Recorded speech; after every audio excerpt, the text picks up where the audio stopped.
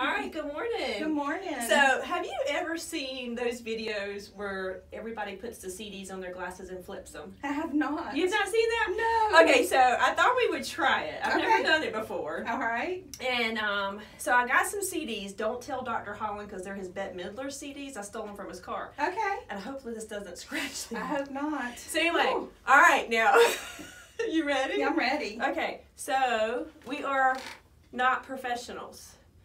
You ready? I'm ready. Yay!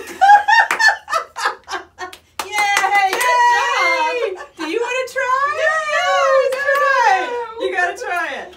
Okay. Oh my gosh. Really? I don't. I, yeah, I'm not sure how you.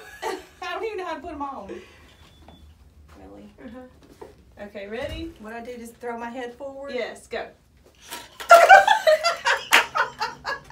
Let's try again. Let's try one more time.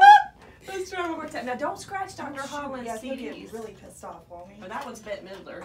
What's this one? That's grease lightning. Okay, Goose Lightning. Sounded good. I don't know how. The, okay, go ahead. Is that right? I don't know. You, you should let me My glasses look good on you. Okay, you gotta do it one more time. Ready? One, two, three. Flick it. How did You did good.